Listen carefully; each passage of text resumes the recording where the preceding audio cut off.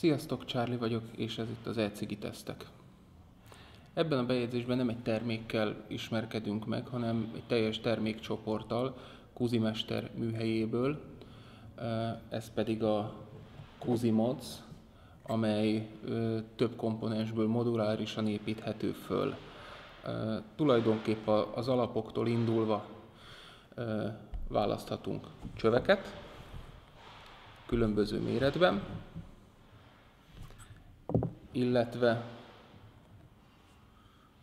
RBA kazánt, itt a drip tip nem tartozik, illetve Genesis-t, egy másik Genesis-t, erre majd külön kitérünk, a talpkapcsolót és egy 5 10 csatlakozót. Nézzük most meg ezeket közelebbről. Nézzük tehát akkor a kuziféle modokat. Amit itt láttok előttem, az a három darab cső, mind a három króm, az új lenyomatére elnézést kérek. Ez pont nincs sorszámozva, nézzük azt, ami sorszámozva van. Ez egy 18350-es cső, két gázelvezető furattal, alján és a tetején menetes résszel, a többinél nem fogom ugyanezt elzongorázni, tehát ez a 18350, 18500 és a 18650-es cső. Következő, ami fontos és mindenféleképpen szükséges ahhoz, hogy tudjuk használni, az a talpkapcsoló. Látszik, hogy itt van egy kis rugós rész, ami egy műanyag kosárban ül, és itt tudjuk szépen beállítani a, a rugónk útját, kitekerjük, és nyomjuk. A beállítása következőképp történik, vagy kitekerjük az egészet, és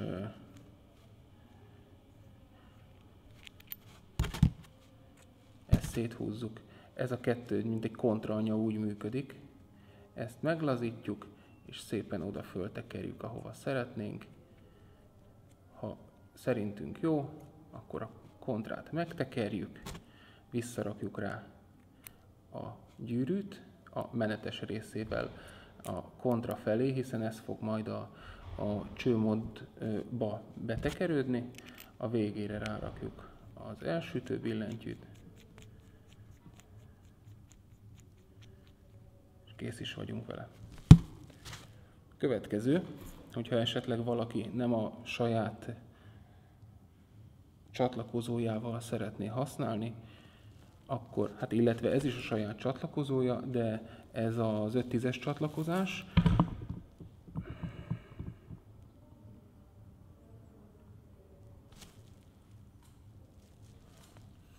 ha valaki nem a saját csatlakozójával, tehát nem ezekkel a Megatron csatlakozásokkal szeretné használni, hanem a kedvenc kazánjával, akkor azt is megteheti, itt van egy szabvány 5-10-es csatlakozó, ezt betekerjük a csőmódba, beállítjuk a középérintkezőnek a mélységét vagy magasságát, és rátekerhetjük a kedvenc kazánunkat. Az látszik, hogy szép, mély bemarások vannak, tehát a levegőellátás az tökéletes, illetve hogyha esetleg valakinek alsó érintkezős kazánja van, attól sem kell megijedni, a középérintkezője szépen egy bemarással rendelkezik, tehát a levegőellátás az biztosított lesz. Az összeszerelés a következőképpen alakul, és most ezt tegyük félre.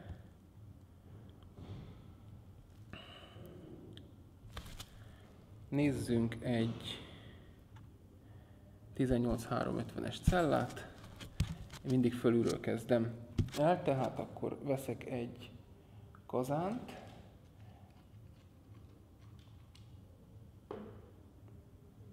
ami most legyen ez.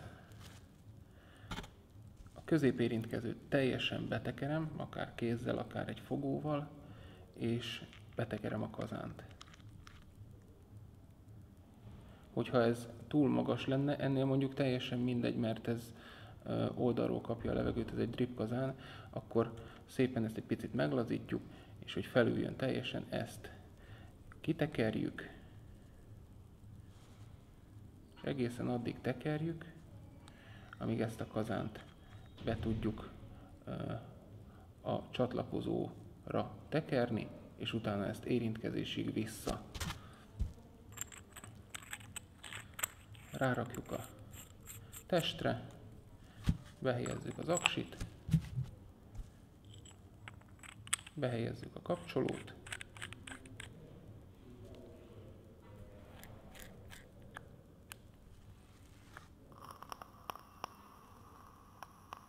és ahogy halljátok, dolgozik is.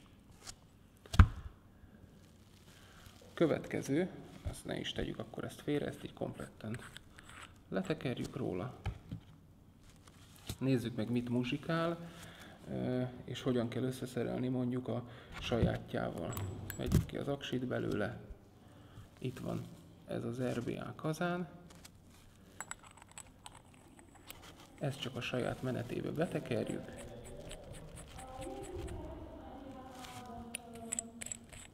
alsó kapcsolót levesszük, belehelyezzük polaritás helyesen az akkumulátort,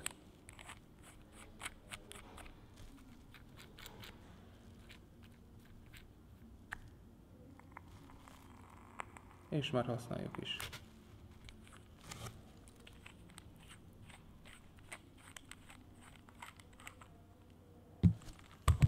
Nézzük most meg belülről ezt az RBA kazánt.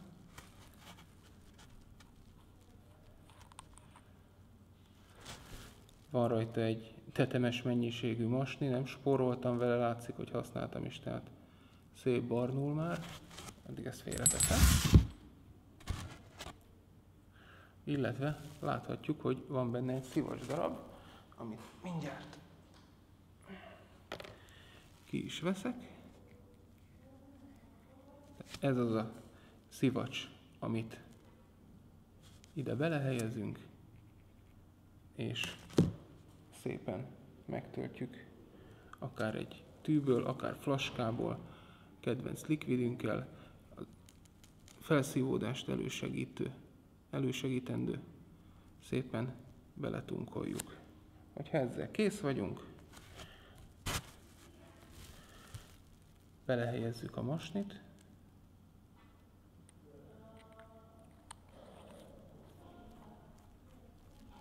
rátekerjük, keresünk egy drippet, és kész is vagyunk. Elnézést az új lenyomatért. Hála Istennek ö, olyan pontosan tervezte meg Kuzi, hogy ez a levegőző furat, ez pont a tekerésünkre fog nézni, tehát azzal nem lesz gondunk, hogy ezt igazgassuk. Következő legyen ez a Genesis kazán. Ez most pont az 5.10-es, ez az, amit nem használtam, de felépítését tekintve ugyanaz, mint a Megatron. Tehát ahogy látjuk, ö, van benne egy középső pont, két oldalsó bekötési pont, kettő luk, és itt még hátul van egy töltő, én ezt nem szoktam használni, egy ö, fűtőszállal szoktam használni, ide behelyezem a csőbe azt a szövetet, amit Kuzi egyébként gyárilag ad hozzá, megtekerem, oxidálom, az oxidálásra most nem térnék ki, millió és egy videó van róla, majd a későbbiekben mi is készítünk róla. Tehát ide behelyezem a csövet, a másik oldalon pedig töltöm. Van a készletben külön egy egy kis szilikon dugó, illetve kettő az egyik erre, a másik pedig a hátsó betöltési pontra. Én ezt mivel ki sem tekerem, ide a nagyobb dugót szoktam használni, ha használom, de mivel ilyen 70-30-as levessel használja az ember, vagyis én legtöbbször, ezért erre nagyon nincs is szükség. Innentől kezdve meg ugyanaz, mint az előző verzióban. Tehát adott az 5-10-es csatlakozó, rátekerjük a kazánt,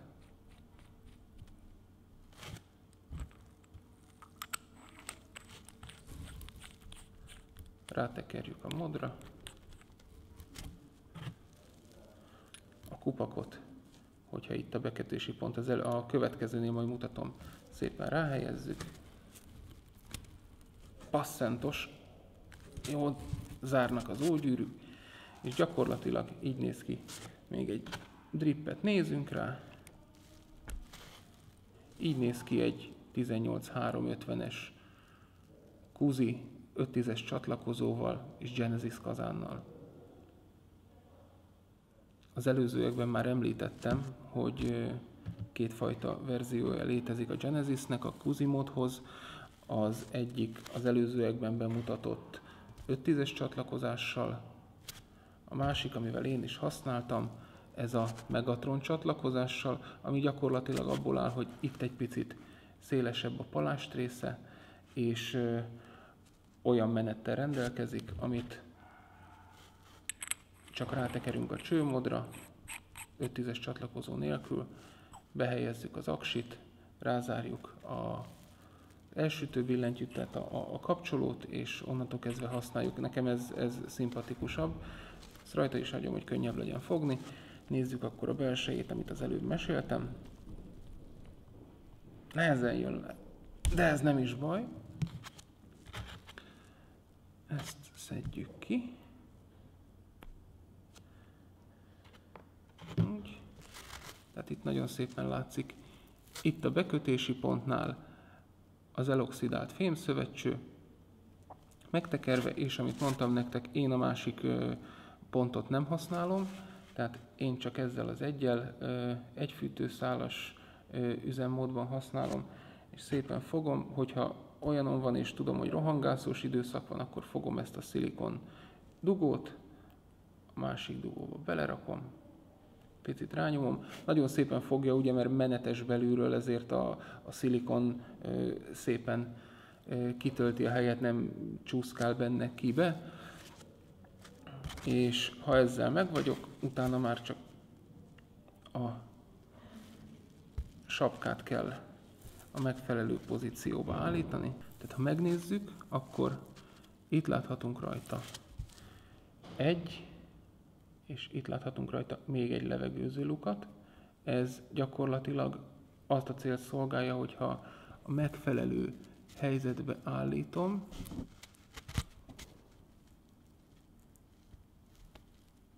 mint most, akkor duál üzemmódban egyik, másik és e, megfelelő pozícióban rárakva e, pont a két fémszövetcsőre néz a luk, a, így biztosítja a legoptimálisabb levegőellátást, de mivel én ezt csak egy fémszövetcsővel használom, és az sem sok levegővel, így úgy állítom be, hogy megkeresem, hogy csak az egyik luk legyen, és utána azt is egy picit eltekerem, hogy csak a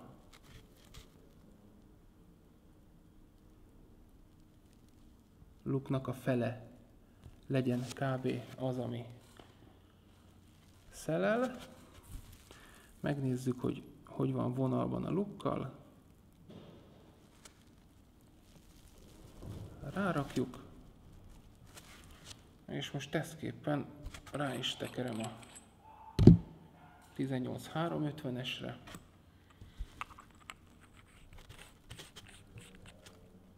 Keresek egy drippet.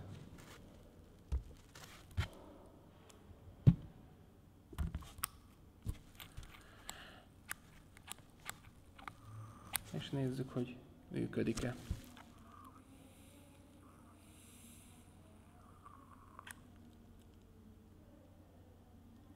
Jelentem működik.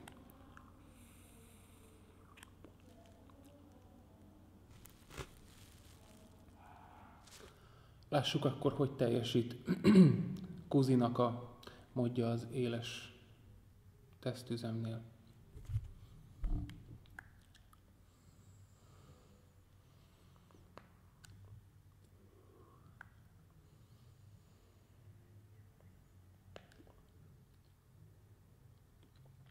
gőze az van rendesen.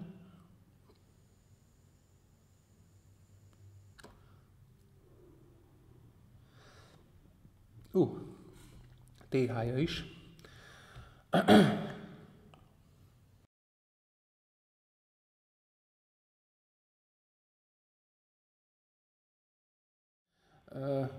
drip tip és menet nélkül így, ahogy van, így majdnem 6 cm 58 mm, az átmérője pedig 2 cm.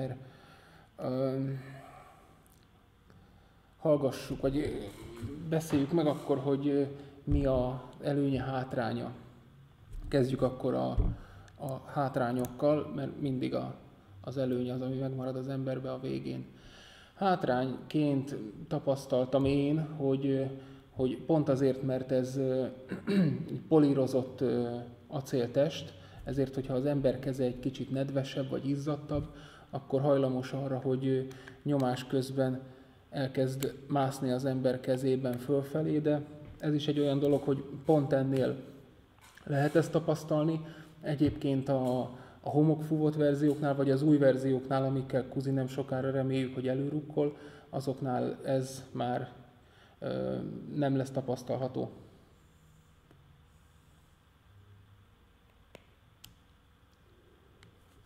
Még egy pozitív, vagy negatívum számomra, hogy ahhoz, hogy újra töltsük a kazánt, ahhoz le kell szednünk a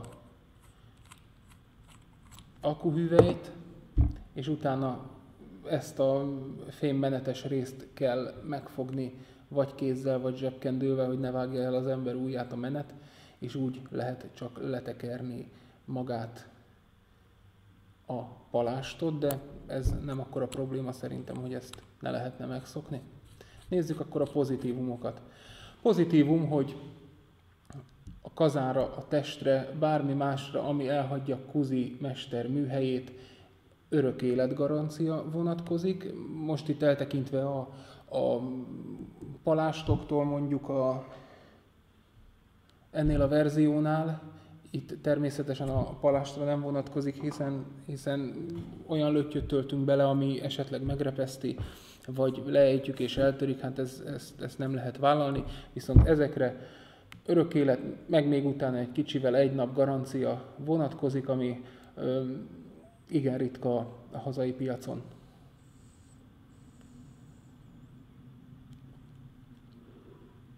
És hát még meg lehet említeni pozitívunként ezt a, az anyaghasználatot, gyönyörű ezzel, még így is, ezzel a csúszós, szerintem csúszós felülettel olyan minőséget képvisel ezzel a rozsdamentes felpolírozott acéllal, hogy, hogy azt mindenki megirigyelhetné, mind gyártók, mind használók. Úgyhogy ha ilyen készülékkel találkoztok használtan, esetleg valamilyen fórumon, nyugodtan vegyétek meg, hogyha új készüléke nem ezzel, hanem már az újabb verziókkal, akkor azt teljes lelki nyugalommal azt érdemes tudni, hogy Kuzimestertől közvetlenül nem lehet vásárolni, viszont a viszonteladói hálózatán keresztül akár külföldön is hozzájuthattok ehhez a készséghez. Itthon a VÉP 42 forgalmazza, a, az árakat az ő oldalukról napra készen meg tudjátok tekinteni. Köszönöm szépen, hogy meghallgattatok, sziasztok!